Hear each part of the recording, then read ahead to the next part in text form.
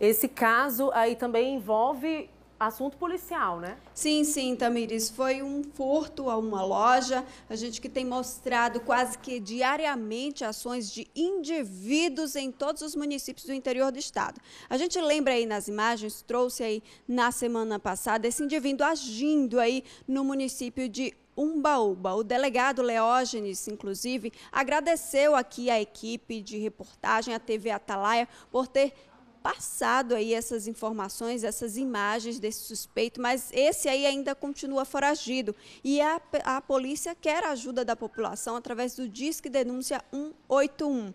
Foi às 4h45 da manhã. Esse indivíduo invade aí a loja, um, um departamento comercial, e leva tudo o que pôde aí, esse espertinho. 4h45, muita gente indo trabalhar, viu, Tamires? E ele aí, ó, roubando tudo tudo. A gente recebeu esses vídeos da população lá do município de Umbaúba que pede ajuda para identificar esse indivíduo. E um outro caso a gente trouxe aqui também o um furto a pessoas em agência bancária e esse foi elucidado e a, o delegado da cidade agradeceu o apoio aqui da TV Atalaia. A gente faz esse intermédio aí para ajudar a população e a população, claro, pode ajudar discando 181 e passando todas as informações, não é, Tamires? É verdade, Samara. Essa prestação de serviço é muito importante porque o telespectador envia o vídeo, a gente exibe a partir daí a gente consegue até auxiliar o trabalho da polícia e a população também junto conosco nesse trabalho de publicizar, de mostrar aí essas imagens, porque afinal de contas muito triste.